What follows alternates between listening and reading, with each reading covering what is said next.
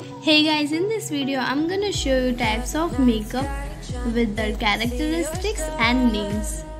HD makeup, high definition products which are designed in a specific way that disclutter light on the skin, making it look softer and prettier.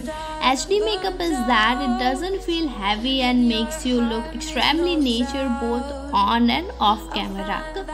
It keeps your skin looking young and radiant for hours.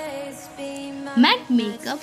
Matte makeup is most popular. It can be your everyday look.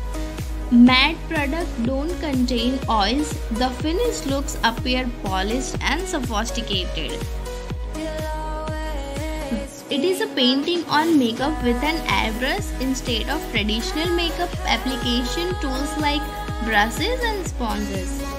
This mist covered the skin lightly allowing the skin to breathe, looking more natural and not exaggerating your pores. Airbrush makeup will leave your skin feeling light, not cakey. Mineral makeup Mineral makeup is often recommended by dermatologists and even skin specialists after special treatment are done to improve the skin. It uses chemical-free makeup cosmetics that are beautiful as other type of makeup look without compromising on the health of the skin. Shimmer makeup as name suggested is all about shimmery and sparkly cosmetic that makes metallic shades and glitter for the extra twinkle on the eyes. Shimmer makeup techniques can be applied to all parts of face, neck, shoulders and collarbones accentuate your feature.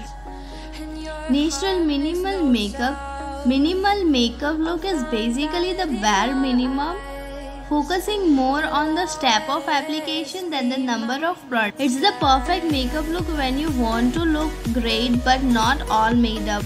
It has the benefit of making you look flawless while not distracting from your natural features.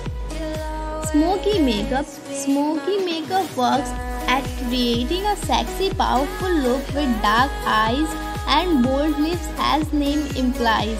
Consists of the dark eyeshadow and eyeliner blended into lighter eyeshadow to create smoky effect.